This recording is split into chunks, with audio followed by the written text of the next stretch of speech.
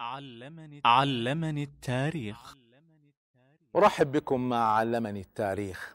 وما زلت معكم ومع اللحظات الأخيرة من سقوط الأندلس. نحن الآن في آخر سنتين من سقوط الأندلس. وبالذات آخر شهور الحقيقة من سقوط الأندلس. محمد بن الأحمر أبو عبد الله الملك الصغير كما كان لقبه هو حاكم غرناطة خائن حريص على الحكم تحالف مع النصارى من قبل. لكنه لما حوصر الآن رأى أنه ليس له حل سوى أن يدافع. لكن ما كان عنده جيش قوي يدافع به. فمما ساعده وجود حركة إسلامية صادقة مخلصة بقيادة الأمير موسى بن أبي غسان. وهنا كلمة أنه العلاقة بين الحكام والحركات الإسلامية للأسف متوترة دائما. ولو قام من الحكم من يخلص لله عز وجل. سيجد أن الحركة الإسلامية ليس هدفها الحكم وليس هدفها إسقاط دولة وإنما هدفها إقامة عز ومجد للمسلمين وسيكونون أعوان له إذا وجدوا منه الإخلاص والصدق. هذا الصراع الذي يجري بين الحركة الإسلامية والحكام يجب أن ينتهي ويجب أن تبنى الجسور ويجتمع الجميع لبناء نهضة وتنمية وعز ومجد وجهاد وقوة. وهذا مطلب الأمة كلها. على كل حال نرجع إلى غرناطة. عمليا لم يستطع محمد بن أبي الأحمر أن يدافع عن غرناطة لكن الذي دافع عن غرناطة طيلة سبع أشهر كاملة سبعة أشهر كاملة ظل أصحاب هذه الانتفاضة في دفاعهم عن حصون غرناطة. هجمات نصرانية شرسة وهم يدافعون. بينما في ذات الوقت كان محمد بن الأحمر الصغير ينظر إلى الأمور يستطلعها من بعيد متفرج واقف ما استطاع أن يفعل شيئا. يريد يتمنى أن يجد حلا ومخرجا. ما ما نعتقد إنه كان يريد التخلص من حكمه. لا هو يريد حكمه ولا يريد النصارى لكن أيضا في نفس الوقت كان متوجس من هذه الحركة. وفي نفس الوقت يريد حلا أو مخرجا يستر به ماء وجهه لأنه كما يقولون سحب البساط منا الذي يدافع عن غرناطة موسى بن أبي غسان وليس الملك الصغير. بعد سبعة شهور من هذا الجهاد الشعبي. وجد الملك الصغير بريق أمل كان قد تمنى أن يجده. جاءت رسالة من حكام أسبانيا فرناندو وازابيلا يطلبان فيه في الرسالة من الملك الصغير تسليم غرناطة. ويضمن له ولقومه ولجيشه الأمان. و سبعين شرط سنحفظ المساجد وسنحفظ الكذا ولن نسترق أحد ولن تمنعوا من ممارسة دينكم واشياء كثيرة. كان من بين هذه الضمانات وتلك الشروط أن تترك المساجد. ولا يدخل النصارى غرناطة بل يقبلوا فقط بتبعيتها يعني لن يدخل الجيش فقط سيدخل الملك ومن معه. وسيطلق الأسرى. وتؤمن الأعراض والأموال. ويوضع عبد الله أبو عبد الله الملك الصغير وزيرا على غرناطة معاونا لملك أسبانيا. يعني ما يسمى ملك يسمى وزيرا. الآن الملك الصغير ما هو قادر يدافع. وإذا انتهت المسألة وصمد الشعب الناس يلتفون حول الحركة الإسلامية بقيادة موسى بن أبي غسان وليس حوله. فوجد إن هذه فرصة أن يبقى له الحكم. شوفوا الخيانة شوفوا العقلية همه نفسه. من هنا وافق الملك الصغير على على هذه المعاهدة. لكنه خوفا من من أن تظهر خيانته وحرصا على حياته الأبدية السرمدية. كان يريد طريقة يعني يقبل الشعب فيها بهذه الشروط. فالمهم اشترط لنفسه شرطان حتى يضمن إن ما يخونه النصارى بعد الاتفاقية. الشرط الأول شوف الشروط اللي فكر فيها. الشرط الأول هذه شروط الآن ابن الأحمر على ملوك أسبانيا. الشرط الأول أن يقوم فرناندو وإيزابيلا بالقسم على هذه العهود. فاستجيب له وأقسم على هذا الأمر. الأمر الثاني أن تحكم في هذه المعاهدة هيئة عالمية تضمن تطبيقها بصورة سليمة يعني لابد من قوة خارجية تضمن الاتفاقية. ونظر في دول العالم من ممكن يحترمه ملوك أسبانيا؟ فوجد ما في أعظم من البابا اللي هو هيئة الأمم بالنسبة له في ذلك الوقت. فاشترط أن يوقع البابا على هذه الاتفاقية. فأرسلت الاتفاقية إلى البابا فوقع عليها. يتم تسليم غرناطة وينتهي الوجود الإسلامي في الأندلس. بعدها اتجه الملك الصغير ليسلم مفاتيح غرناطة ويوقف حركة الجهاد في البلد مقابل أن يعطوه الأمان كما ذكروا بعد أن وقع البابا بابا روما على هذه الاتفاقية وأقسم عليها فرناندو وإيزابيلا.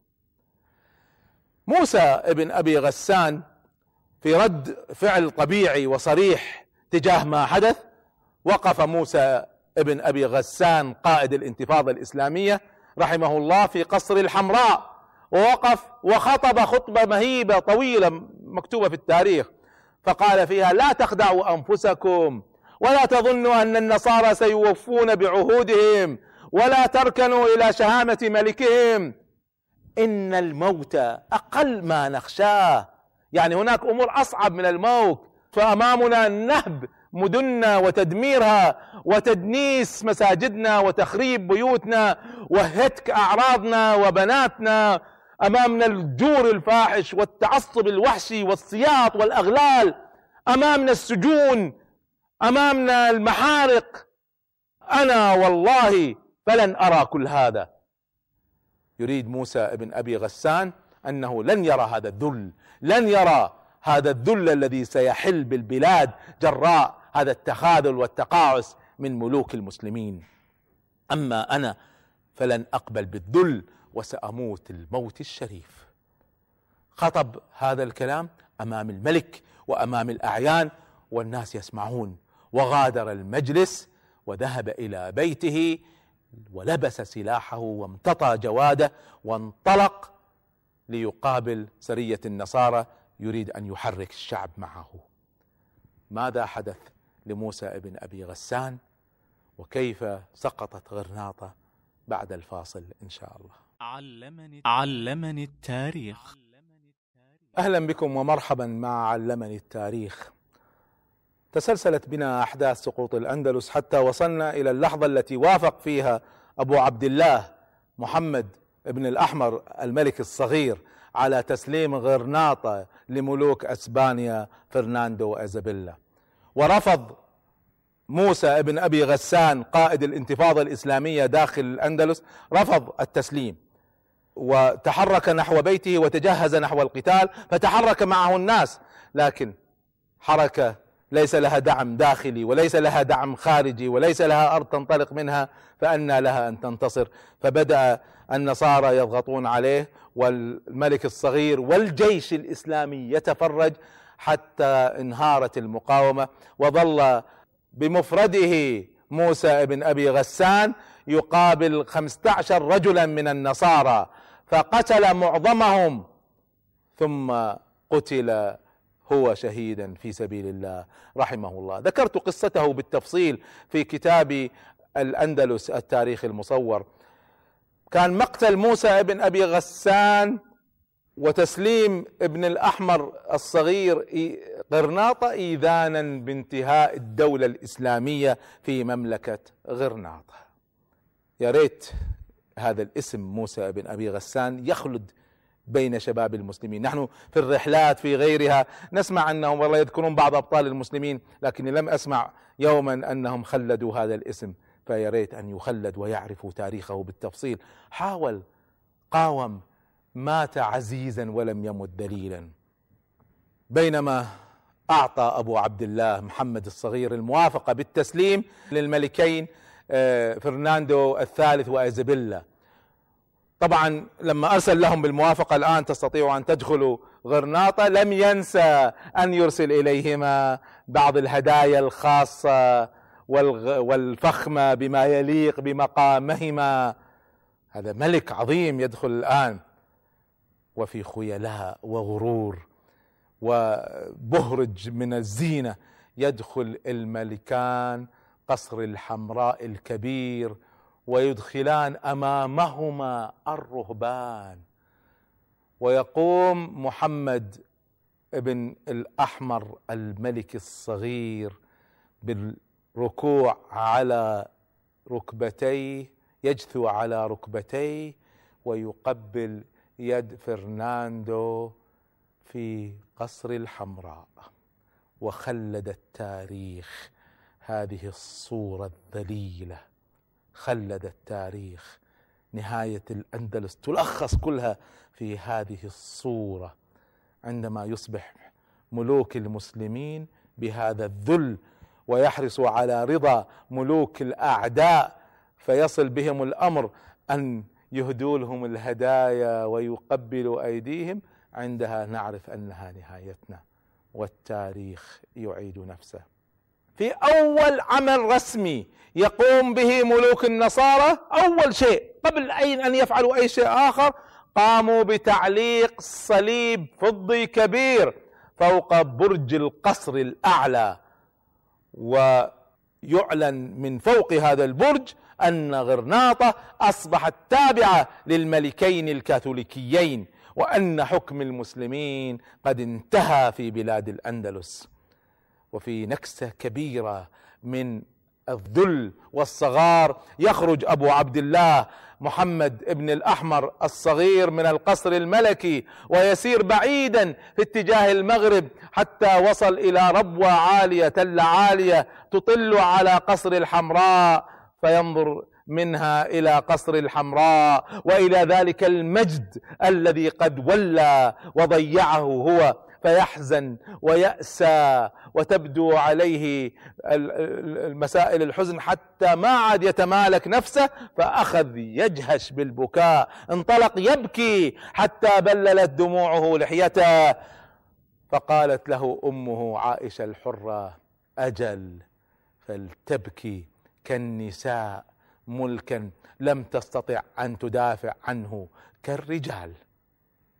وإلى هذه اللحظة ما زال هذا التل الذي وقف عليه أبو عبد الله محمد الصغير ما زال موجودا في أسبانيا إلى اليوم وما زال الناس يذهبون إليه يتأملون موضع هذا الملك الذي أضاع ملكا عظيما كان قد أسسه أجداده ويعرف هذا التل اليوم بزفرة العربي الأخيرة بكاء أبي عبد الله محمد الصغير حين ترك ملكه.